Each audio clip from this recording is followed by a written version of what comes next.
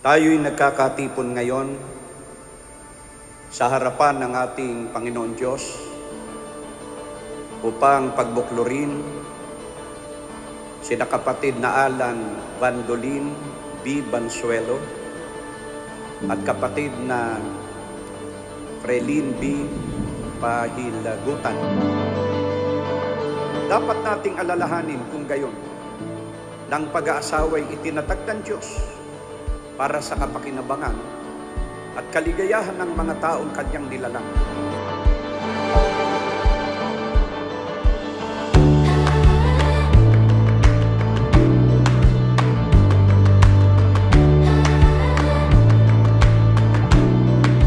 excited din kasi yung pinakamamahal ko makakasama ko habang buhay.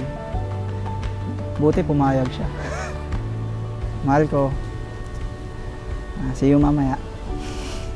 Panghabang buhay na to, mahal na mahal.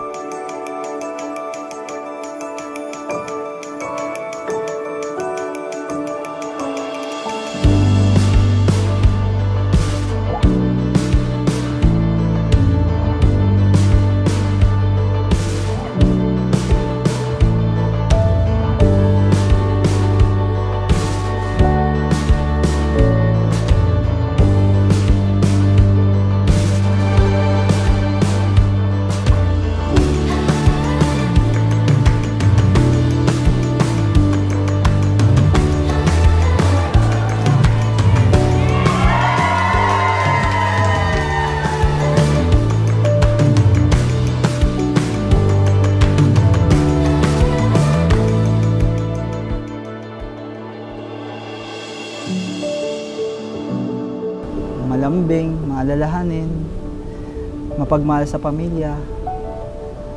Yun, talagang ah, hanggang ngayon, inaalala niya yung pamilya niya.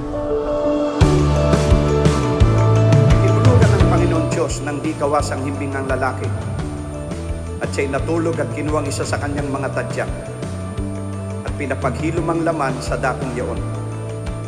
At ang tadyang na kinuha ng Panginoon Diyos sa lalaki ay ginawang isang babae. At ito'y dinala niya sa lalaki. At sila'y binasbasan ng Diyos.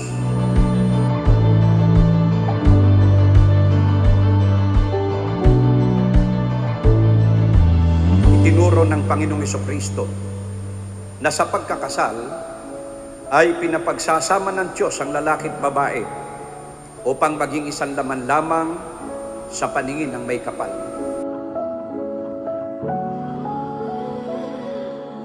From your head to your toes, from your heart to your soul. There's not one part that I would change. Mahal ko, una sa lahat, thank you. Kasi um, tinanggap mo ako kahit ganito ako. Tinanggap mo yung buong family ko.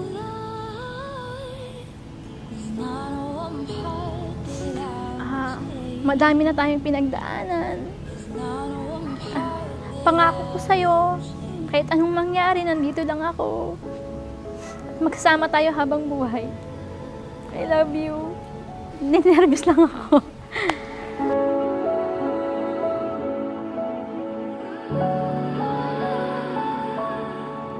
Your beauty is matchless. Your heart is pure gold. There's not one part that I would change. There's not one part that I would change.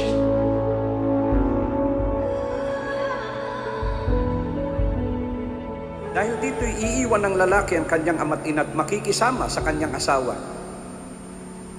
At ang dalawa'y magiging isang laman. Kaya hindi na sila dalawa, kundi isang laman. Ang pinapagsama nga ng Diyos ay huwag papaghiwalayin ng tao. Nawa ang singsing na ito na isang makabulang palatandaan ng pangako. Maging sagisag ng kadalisayan at kawalang katapusan ng inyong pag-ibig. I love you, I love you,